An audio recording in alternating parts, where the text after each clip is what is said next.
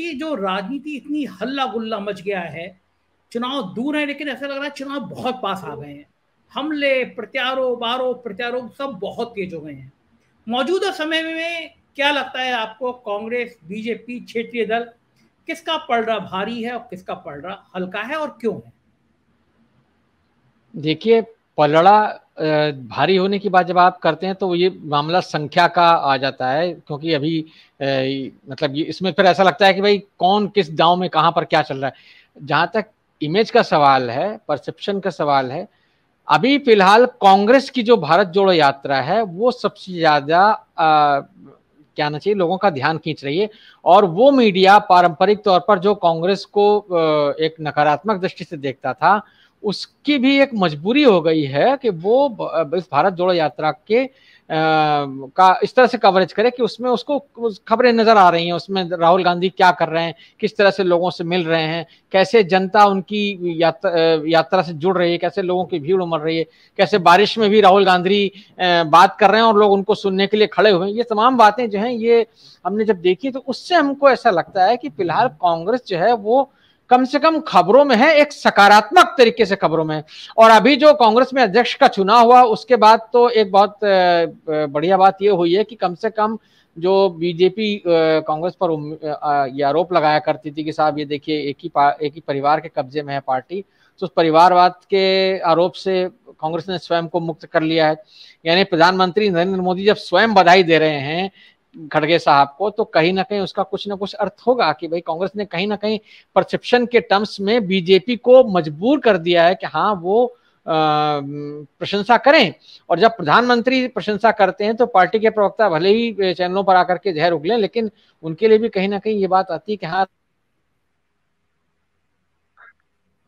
Internet आम जनता को कहीं ना कहीं पसंद आ रहा है। इस नाते जो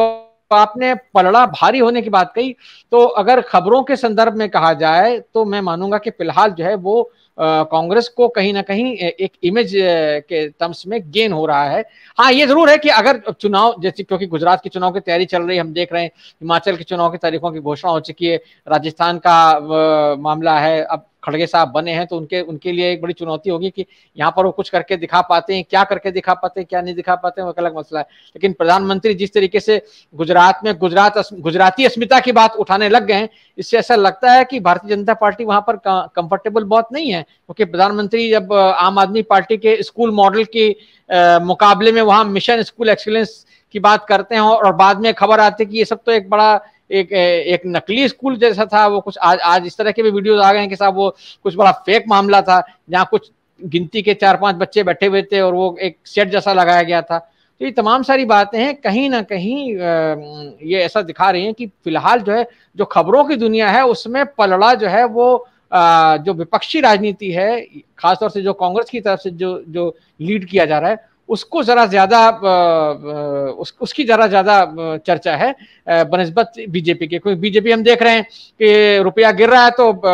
वित्त मंत्री जी का बयान आता है कि साहब रुपया कमज़ोर नहीं हो रहा है डॉलर मज़बूत हो रहा है। तो इस तरह की बातें होती है कि जब हमारे वित्त मंत्री अगर उनके वो ये कहें कि साहब हम डॉलर मजबूती के लिए माना जाए कि क्या डॉलर मजबूती के लिए सरकार काम कर रही है तो ये जो इस तरह की बातें हो रही हैं, उससे कहीं ना कहीं जो आपका मूल प्रश्न था, उस पर अगर मैं लौटूं तो पलड़ा जो है वो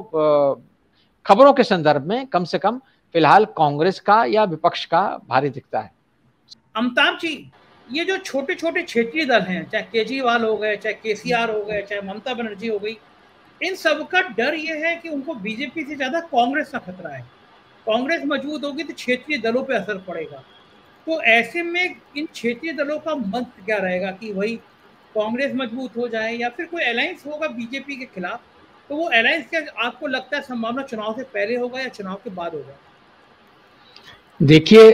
अलायंस की जहाँ तक बात है मेरे ख्याल में अभी शीतल जी ने बहुत बढ़िया बात कही थी विपक्ष जो है वो एक कॉमन मिनिमम प्रोग्राम ऐसा कुछ नहीं बना पा रहा ये बात हम लोग काफ़ी समय से इस पर चर्चा करते रहे हैं। आ, आप तमाम मंचों पर इसी तरह के, कि विपक्ष की जो एक रणनीति में जो बिखराव है, वो कहीं ना कहीं उसकी जो एक सामूहिक क्षमता है भारतीय जनता पार्टी को हराने की चुनाव में, लोकसभा चुनाव में, उस पर सीधा असर डालता है। ये हमने देखा है कि जब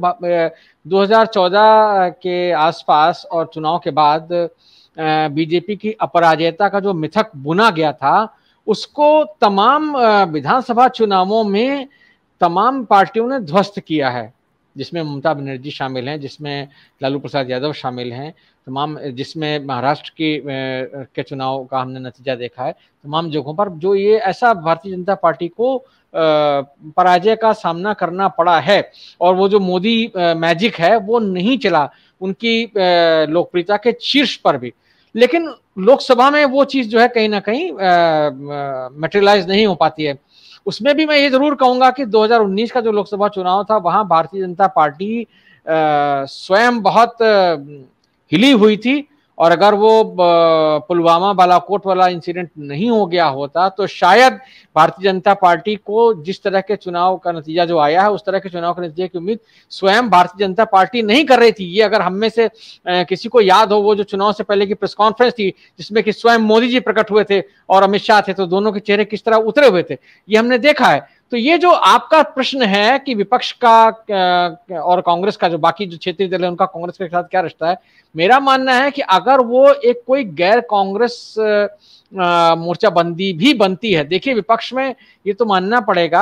अशोक जी ने बहुत विस्तार से कांग्रेस की उस यात्रा का, भारत जोड़ो का सबका एक विश्लेषण किया है। मैंने अपनी शुरुआती टिप्पणी में भी ये बात कही थी कि कहीं ना कहीं उससे कांग्रेस को एक एक छवि एक उसकी बन रही है। राहुल गांधी जो अब तक जिनको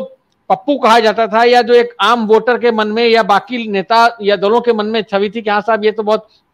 आराम तलब किस्म के इंसान है। जो शीतल जी ने भी बात की कि साहब, भट्टा पारसौल से निकले और बहुत अच्छा हुजूम था, लेकिन बाद में गाड़ी में बैठ के चले गए और उसके बाद फिर नज़र नहीं आया। तो इस बार तो ऐसा हुआ है कि वो अभी उनको सड़कों पर ही रहना है और वो एक हज़ार किलोमीटर की यात्रा सड़क पर कर चुके हैं। इस बीच में कांग्रेस का अध्यक्ष का चुनाव हो गया है। तो और राहुल गांधी उससे बाहर रहे हैं पूरी तरीके से। तो ये जो चीज़ें हैं, कहीं ना कहीं एक जो एक अलग तरह की छवि निर्माण कर रही है कांग्रेस की, उसमें निश्चित तौर पर कांग्रेस को जो अशोक जी ने बात कही, वो बहुत बहुत बढ़िया बात है कि कांग्रेस के पास खोने के लिए कुछ नहीं है। अगर अब कुछ होगा तो वो उसको मिलना ही मिलना है। अगर, और वो परसेप्शन अगर उसके पक्ष में पॉजिटिव जा रहा है तो वो पॉजिटिव परसेप्शन कहीं ना कहीं किसी न किसी रूप में जो एक चुनावी गणित होता है वोटों का या प्रतिशत का, उन, उनमें कहीं ना कहीं तब्दील होगा। तो ऐसे में जो भी विपक्ष की रणनीति बनेगी वो कांग्रेस को नजरअंदाज करके या कांग्रेस को हाशिए पर रखकर नहीं बन सकती। अब से कुछ महीनों पहले तक जो स्थिति थी, कांग्रेस की आज वो स्थिति बिल्कुल नहीं है, क्योंकि आज कांग्रेस जो है वो एक धीरे धीरे हम देख रहे हैं कि हाँ वो एक सकारात्मक छवि बनाती हुई पार्टी है। लोगों के मन में कांग्रेस को लेकर के उत्साह है, लोग जिस तरह से जुड़ रहे हैं राहुल गांधी की यात्रा से और जो प्रतिक्रियाएँ आ रही हैं, और उससे बीजेपी जिस तरीके से कहना चाहिए थोड़ा सा घबराई हुई दिख रही है, बदहवास दिख रही है, क्योंकि बीजेपी की जो प्रतिक्रिया आती है बार बार वो एक अपने आप में इंडिकेशन है कि कहीं ना कहीं कांग्रेस जो है वो गेन कर रही है ज़मीन पर गेन कर रही है। अब वो कितना उत्तर भारतीय इलाकों में उसका असर दिखेगा और कितना वो वोटों के टर्म्स में या सीटों के टर्म्स में तब्दील होगा, ये अभी शायद बहुत जल्दबाजी होगी कहना, लेकिन कहीं ना कहीं ये हम निश्चित तौर पर कह सकते हैं कि हाल के जितने भी घटनाक्रम हैं वो कांग्रेस के पक्ष में है, उसकी छवि निर्माण के पक्ष में है, सकारात्मक छवि निर्माण के पक्ष में है, क्योंकि मीडिया न चाहते हुए भी कांग्रेस को दिखाने के लिए मजबूर है, चाहे कांग्रेस अध्यक्ष का चुनाव हो, चाहे वो भारत जोड़ो यात्रा हो। तो कहीं ना कहीं ये कहना पड़ रहा है सबको कि हाँ कांग्रेस जो है वो अपने पुराने खोल से बाहर निकलने की कोशिश कर रही है। और ये कुछ, ये काफ़ी हद तक जो है वो कांग्रेस के पक्ष में जाएगा। हाँ जो आपने बात विपक्ष की कही है, ये मैं मानता हूँ कि कांग्रेस को लेकर के एक अजीब सा एंटागोनिज्म है और वो जो है, वो चीज़ जो है, वो कहीं ना कहीं विपक्ष की एकता को नुकसान पहुंचाती रही। उसमें कुछ हद तक कांग्रेस का अपना रोल भी रहा है, लेकिन अब जो चीज़ें बनेंगी या जो बनना चाहिए, वो शीतल जी की बात को मैं सेकंड करता हूँ कि ये अगर कॉमन मिनिमम प्रोग्राम बना करके किसी तरीके से एक साथ आने की परिस्थितियाँ बनती हैं तो निश्चित तौर पर वो बीजेपी के सामने एक अच्छा मुकाबला प्रस्तुत कर सकते हैं। ये बात बिल्कुल सही है कि अभी आप भारतीय जनता पार्टी को किसी भी पैमाने पर इस हद तक नहीं आंक सकते कि वो चुनाव हार जाएगी ऐसा कुछ हो जाएगा। क्योंकि, लेकिन धीरे धीरे जो परिस्थितियाँ बन रही हैं, वो कहीं ना कहीं भारतीय जनता पार्टी के लिए एक क्योंकि जनता में जो जिस तरह की बात आ रही है, महँगाई को लेकर, बेरोजगारी को लेकर के, वो भारतीय जनता पार्टी के खिलाफ जा रही है। और घुमा फिरा करके बीजेपी के पास जो रह जाती हैं चीज़ें, वो बात वही हिंदू मुसलमान की। आप देखिए दत्तात्रेय होसबोले का बयान देख लीजिए, आज जो आया जिसपे चर्चा होने लग गई है कि जनसंख्या जो बढ़ रही है, वो धर्मांतरण की वजह से बढ़ रही है और घुसपैठ की वजह से बढ़ रही है। तो घुमा फिरा के निशाना मुसलमान है हर मामले में। तो वो एकमात्र जो है भारतीय जनता पार्टी का प्लैंक रह जाता है। हिंदू, मुसलमान, पाकिस्तान,